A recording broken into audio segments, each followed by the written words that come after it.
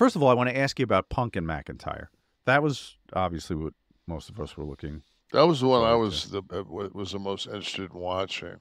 Phil definitely he hasn't worked in he didn't work in a long time when he worked. Like he came back off an injury, worked that fucking Royal Rumble, and and it was injured again. Correct.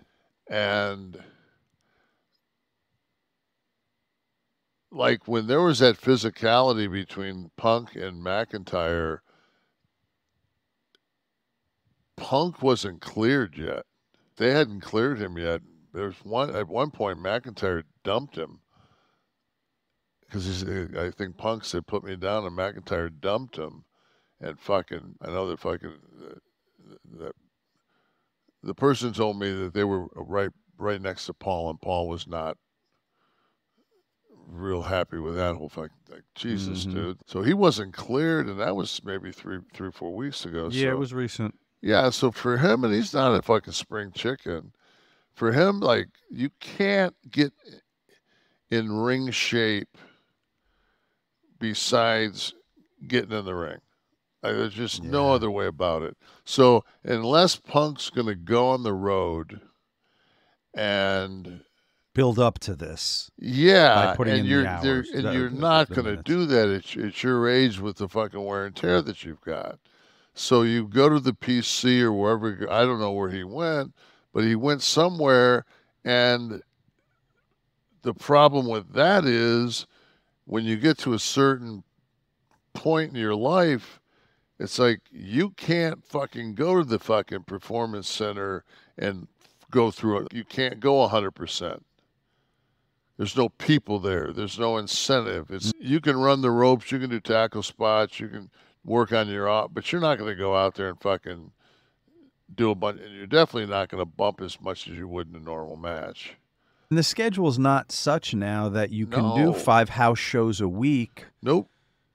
off No. TV to get ready for then- what's happening in a month. And then anything that you do, the whole thing is that you you can't put him against Drew. So anybody he's working with on the on the circuit looks like like a B team warm up. It's almost like he's getting ready because I don't think Drew was working on the house shows during that time.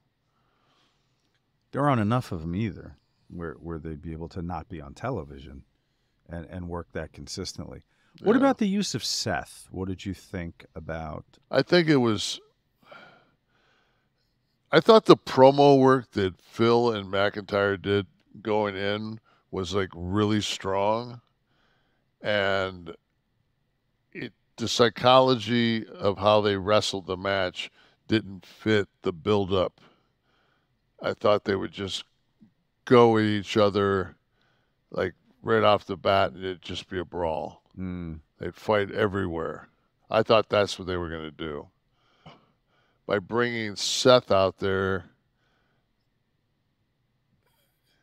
yeah, he's over enough and he's been around enough where it's just like they're outside doing spots and he's in the middle getting the people to go, whoa. I'm like, not on the same page. right. But I did Like- like, when he did the laid on the ropes and let whatever happen. I thought that was cool. No, he played his character, but it's Yeah. just they're going to get as much as they can out of that angle. They, they weren't going to pay it off at SummerSlam. That's for damn sure. Mm, Now, when you're getting a clean at the in the finish, and cle- I mean, Gunther was clean. They're all not clean, but technically they're clean. And so, yeah, it's just I don't think it was the.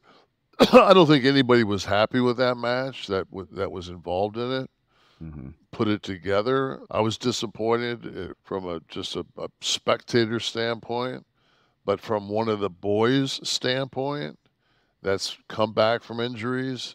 That's about, and you're not fucking thirty. It's that's a fucking that's a tough road for Phil, and to to fucking, I don't give a fuck who you are, how many times you've done it you're going out in front of 57,000 people at SummerSlam and you ain't worked in nine months, you cannot get your fucking lips off your teeth. Yeah, yeah. Your dry mouth is a motherfucker. It's Did you talk with him at all? oh, I didn't get a mm-hmm. chance to talk to him. I was hoping I did. So I saw, now, I saw him for, for a split second walk in front of me, and he was like noticeably was bigger than I've seen him. That's the biggest I've ever seen him biggest. physically. Okay. Yeah. Working out biggest. Yeah, he was still soft in the middle, which I was kind. of, But some guys just don't. Uh, just genetically, just don't. Let me ask you a question though. In the context of coming back from the injury, I get it. I get what you're saying and what's being asked of him his first match back. But what about in the context of his having said like the long-term contract comment, working there forever. Yeah, doing no, Shawn I Michaels jobs. and I, that was my whole thing. And I've I said it to a couple of people that that we were talking about that match after it was over. I was down at the bar and I was talking to some different people. And I said, Industry "Bef- people? yeah, okay. yeah. And I said, not trying to be a dick or anything. Maybe you uh, get your pitch fucking count up to 30 before you ask for a six year extension. like, fucking hell, man. That's the best I got. You want six more years of that? No. Good. Ace Ramon, did your opinion of Punk change after seeing the the Wembley footage? Because you were helping him for a while and calling him a bully. I personally think Punk was right about things in AEW. So this question, we, we this is that thing that we watched. Uh, Yeah, this is a question for couple of months ago. yeah. But uh, Well, yeah, Obviously, if you listen to the show tonight, you would you would see that I have a different opinion. I'm yeah, and- but the, but we all agreed that the Wembley footage was a very big non-event. Yeah, it was, it was bullshit. And the thing was, is I never understood why you would show something that would get the people the chance to chant CM Punk on your show and make everybody else look like a fucking asshole that's on your show. No, eh, yeah. I, I, I didn't get that. Uh, anyone else from the audience? Wild Werrow. If I must go to the gym twice a day due to being homeless and wanted to be clean, should I do cardio in the AM and lift in the PM or lift AM and cardio PM? Lift, NWO. lift AM, cardio PM. There you go. For your hypothetical situation, Wild Werrow.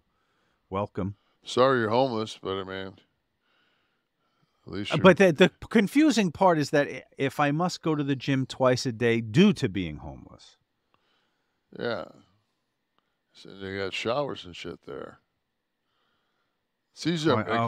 It's way cheaper to come up with a thirty dollar gym membership than it is to fucking stay in a hundred dollar hotel. all right. You Well, can have Wild that You can, you can have that gym for